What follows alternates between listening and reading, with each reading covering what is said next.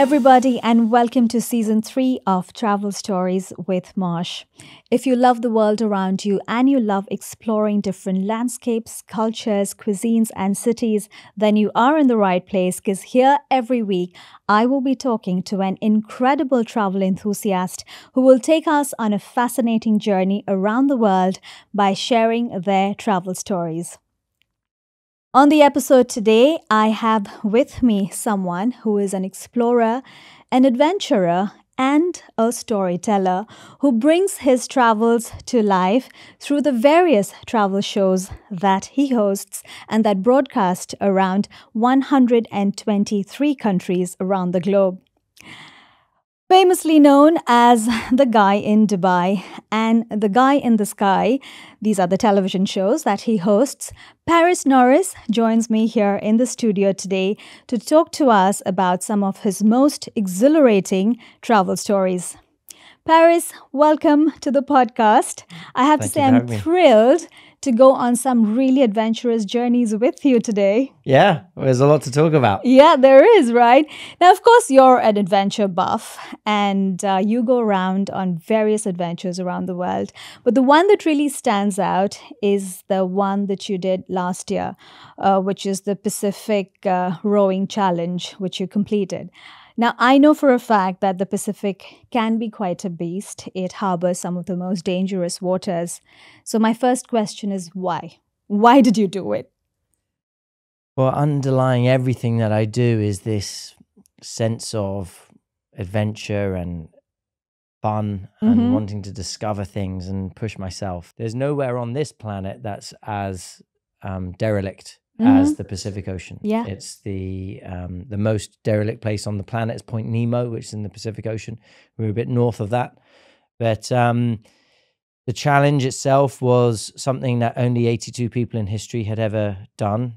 um, Amazing. Where, you know, 700 people have been to space, 12,000 have climbed Everest. hmm Don't test me on the numbers, but something like that. Um, and, you know, quite a few people have rowed across the Atlantic Ocean. Right. So the Pacific Ocean was a bit untouched, hmm and the destination was this beautiful island called Kauai, Mm. which is like a dream island. It's where Mhm. they filmed Jurassic Park. I thought this this is going to be an incredible adventure, topped by the fact it was three friends of mine. I thought, you know, this is going to be fun to do together. And those were many days out in the ocean, right? Through days and nights and through choppy waters and what have you.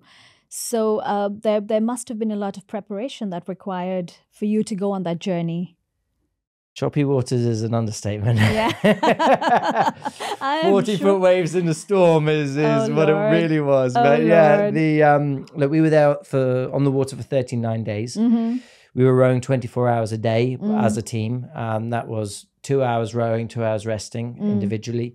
So that would usually be 12 hours rowing each per day. Uh, but then we would donate some extra hours. So sometimes we were rowing up to 14 hours a day Mm. each. So there was a huge amount of physical training that went into that. But then, yes, we had to weather, in this scenario, it was two storms. Mm. One of them hit land and got a name called Storm Calvin, and the other one never hit land. No one ever knew about it, but it was incredibly terrifying if you were four guys in a in a small rowing boat. And we had to be prepared for that in terms of what do we do in a rescue scenario. There is a lot. There is a lot in this whole journey, and of course, I mean, it's it's quite evident that you're an adventurer, and that is how you you kind of navigate your your life around in this world. And this is the way you live you know you like to live your life through adventure. And you've surely been on so many adventures. But particularly today um, what i would like to know and to begin the podcast is where will you be taking us on a journey? Are you taking us on another adventure? Are you taking us rowing sailing? Where are you taking us Well, I've just come back from Jordan. Why don't we talk about that? let's talk about jordan yes Because Jordan is a Jordan's a fantastic country. We're Mhm. based in the UAE right now, so Mhm. it's a two-hour flight. It's Mhm. not far. yeah Um, it's not an expensive flight, and tourism is down right now because in the neighboring countries they're having all sorts of Right. political conflicts. right Jordan itself is not in a conflict, and so it's perfectly safe to go to. But tourism is down, and it's nice to go to countries when they're not in, at their popular moment because people are more open to meeting you. People want to help. People are welcoming of your tourism and and your business. And there's just a, a, a sweetness. Mm. Um, every single person I met in Jordan was seriously, seriously kind and Mm. nice. Mm. And it was a very, you know, one thing I'll go away saying is, you know, that they were a great bunch of people, you know, very genuine. Um, but it was great. You know, you can visit places like Petra and the Dead Sea, Wadi Rum, Akaba, where I did some of the best scuba diving I've ever done um, in the Red Sea.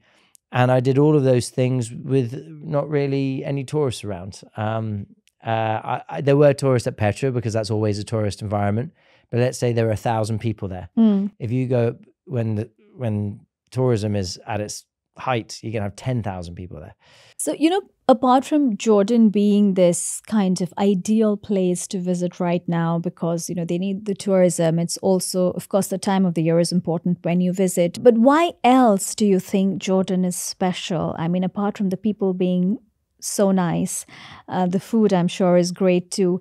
Give us something else about Jordan that you discovered and which stayed with you and you would go back there for.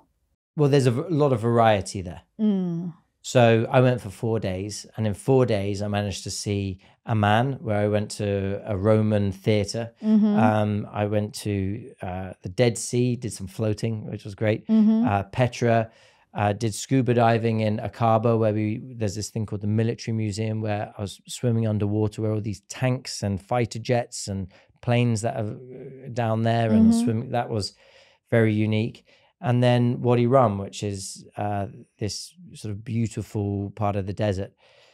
That was a lot to do in four days Mm. and and you know it's not a hu- huge country so you can do it um but there was a load of places that i would like to have gone where i didn't have time to go and there's many many uh, layers to it so there's a lot of variety within a fairly small country Right. So a bit of everything in Jordan. So that was that was a nice little journey into Jordan. Now Yeah. you know you travel around with your uh, travel shows. You go to various parts of the world, and you've experienced so much.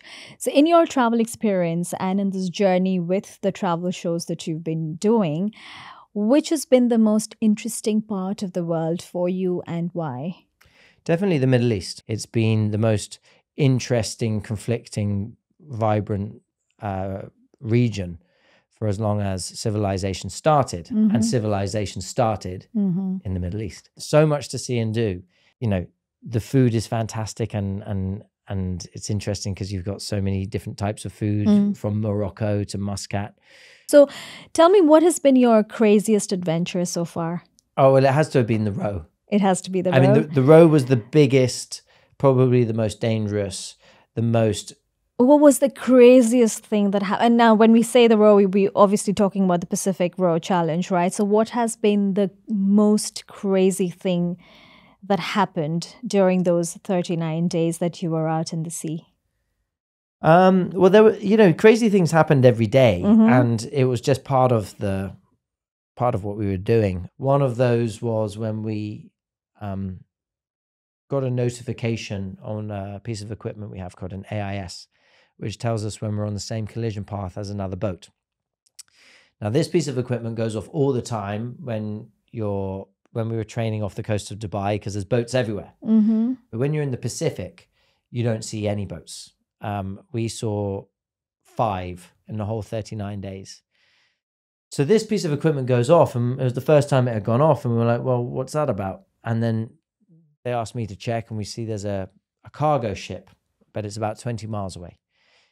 And we're like, "Okay, no problem, no big issue, but we'll keep an eye on it." And it gets a bit closer, um, and then as it's getting closer, we realize it's getting dangerously close. We need to get in contact with them, let them know we're here, and let them know we don't have an engine and we're, a rowing boat, because small boats need to get out the way of big boats, but we don't have an engine, so actually you can't get out that fast. we can't get out. Yeah, so so if it's coming at us, it's faster than us. So oh my god! so we had to radio to it, and now I look back over the fo- video footage, I realized we gave it the wrong instruction. Um, so when it was just gonna sort of miss us like this, it turns, and now it's dead on, and it's 800 meters away from us, getting bigger and bigger and bigger, and all of a sudden the, the tone in our voice changes to something very urgent, which was get the flares, get the life jackets, let's go. You know, like, and it, and So jump off the boat. it was like, it was a situation when it was a situation like that that you might have to jump off the boat. jump off the boat. And just to put that into perspective, we're 1,000 miles away from land. So that's three days. Uh, we're out of US waters. So uh, rescue's not coming. Life jackets are not just around, they, we, they're stowed away because we don't always need them. Um, the water was about 10 degrees Celsius. So we would have got hypothermia in half an hour. We would have died of hypothermia in four hours. And if a, and if the boat did hit our boat, it would be smashed, and our life raft would have been spewed somewhere. It was windy as well, so anything would have been would have gone. So and this cargo ship had no idea that you guys were out there on the ocean. no idea. Oh my god! You couldn't see us. It was so high up. You know, these things are very Yeah. very high.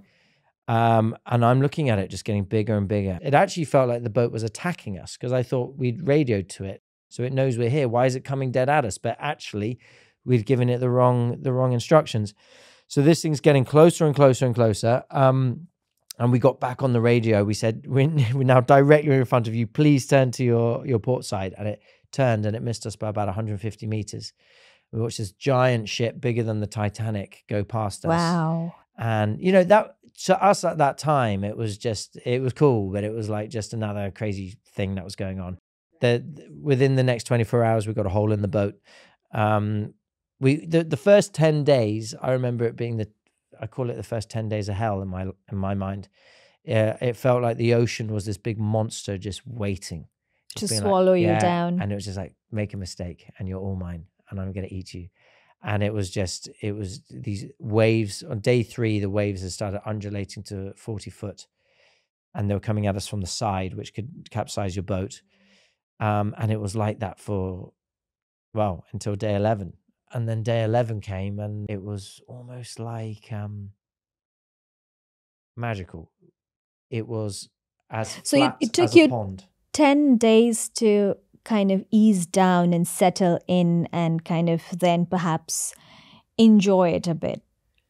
Well, the we were in a storm for the first ten days, so so it it wasn't normal circumstances, but Mm. we didn't know any different. Um, we did know that the currents in the first, we thought it was going to be like we were hoping it was going to be four days. Mm. We're going to be really tough, and we got to try and break out of that. But that four days was ten days, and then um, day eleven we had we, it was like a, a pond, like glass.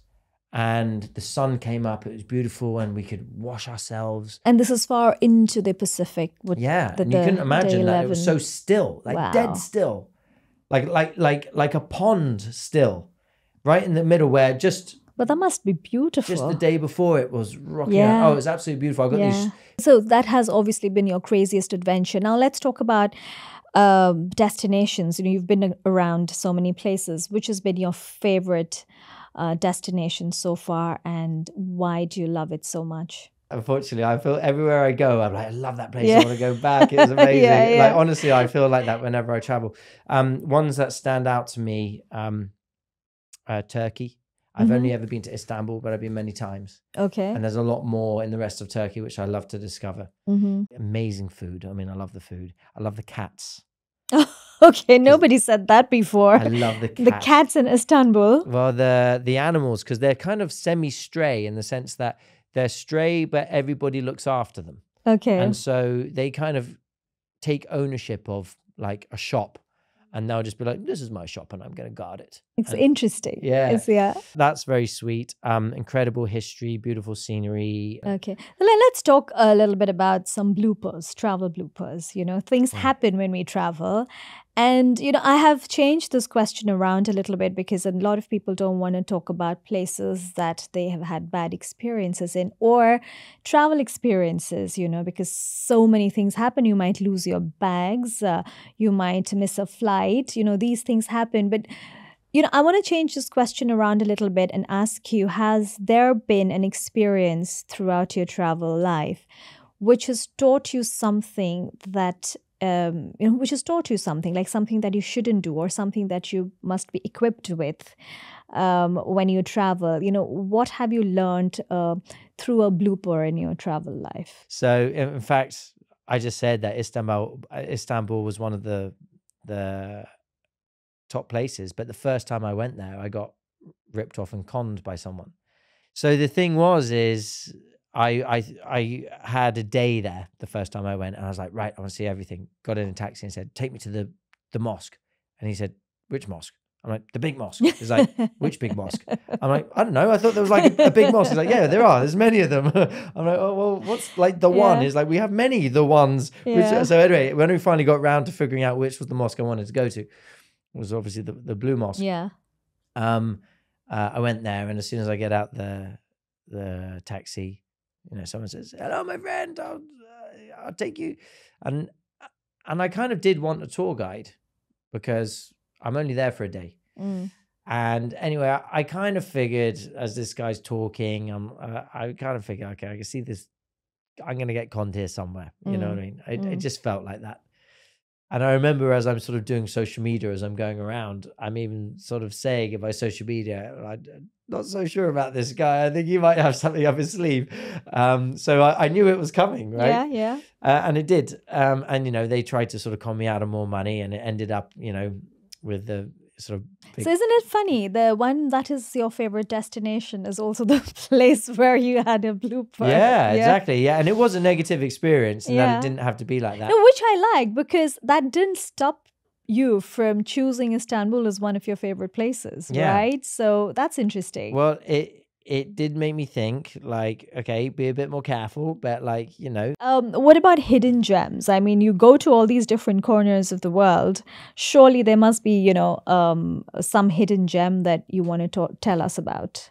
okay, Oman. Mm-hmm. Oman's a fantastic one. A lot of people uh, don't venture into Oman, even from here, and we're right next to it. So Oman has loads. It's you know everything that I said about Jordan, I can say about Oman. Oman is fantastic.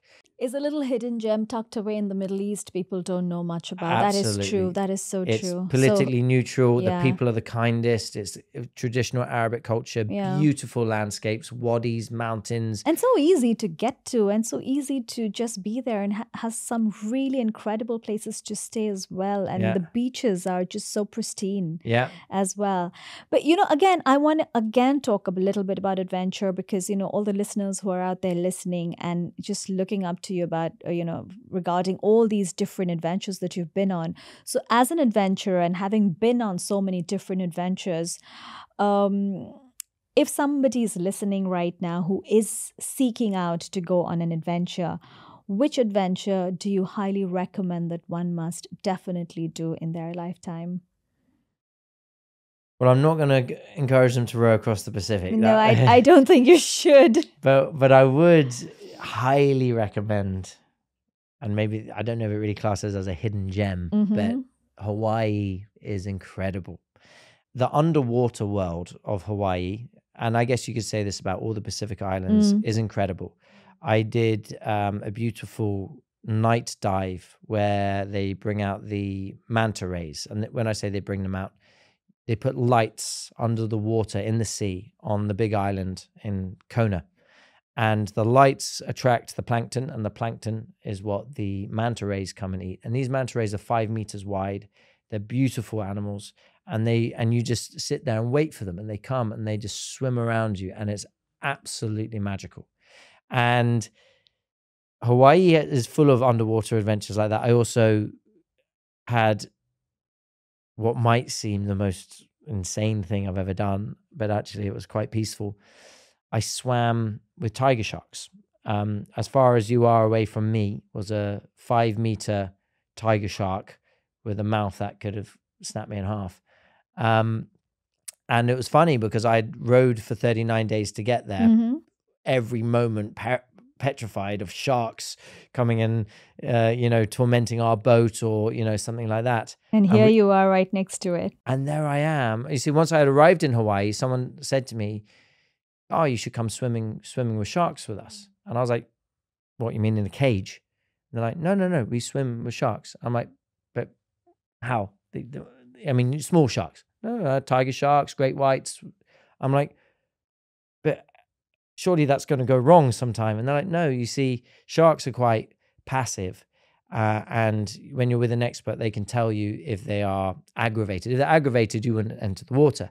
And you can tell by the way that their pectoral fins are and the way that they're swimming.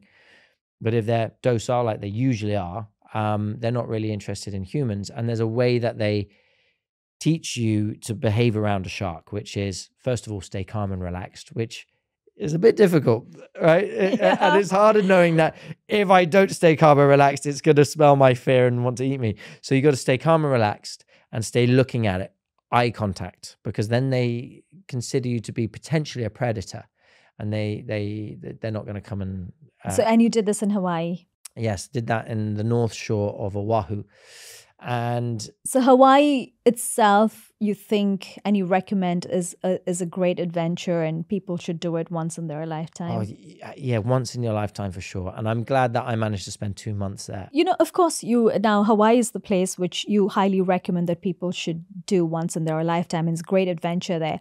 But um, what about that one place that you would highly recommend that anyone should visit in 2024? Specifically this year, I mentioned uh, already. I've already spoken about me going to Jordan. Mm-hmm. The reason why that's important this year is um, over 70% of Jordanians are Palestinians from the West Bank.